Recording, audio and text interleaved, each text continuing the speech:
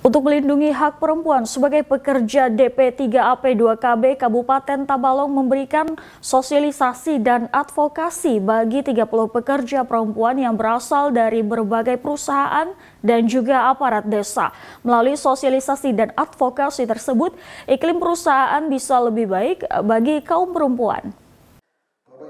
Bidang Pemberdayaan Perempuan dari Dinas Pemberdayaan Perempuan Perlindungan Anak Pengendalian Penduduk dan KB Tabalong menggelar kegiatan sosialisasi dan juga advokasi pada 13 September 2022 di Gedung Pusat Informasi dan Pembangunan Tabalong. Sosialisasi dan advokasi ini diberikan pada 30 perempuan pekerja, baik di perusahaan swasta maupun aparat desa. Melalui sosialisasi dan advokasi ini, DP3 P2KB Tabalong meningkatkan pengetahuan para pekerja perempuan terkait hak-hak mereka yang tertuang dalam kebijakan ketenaga kerjaan untuk kaum perempuan.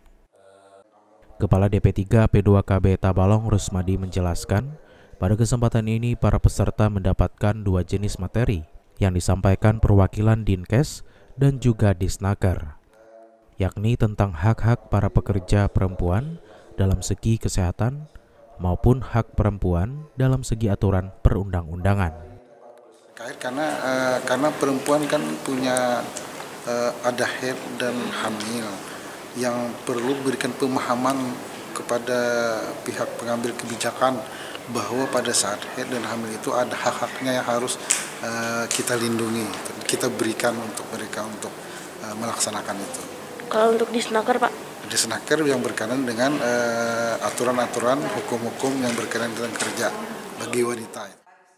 Dengan adanya kegiatan ini diharapkan para peserta dapat menyampaikan informasi yang telah didapat kepada pemangku kepentingan di pengurus maupun di kantornya masing-masing. Sehingga hak seluruh pekerja perempuan yang ada di Kabupaten Tabalong dapat terpenuhi dengan baik.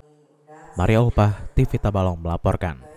Terima kasih sudah menonton video ini. Jangan lupa subscribe channel Tabalong hari ini dan nyalakan pemberitahuan untuk update info. Jangan lupa juga untuk like, komen, dan share videonya.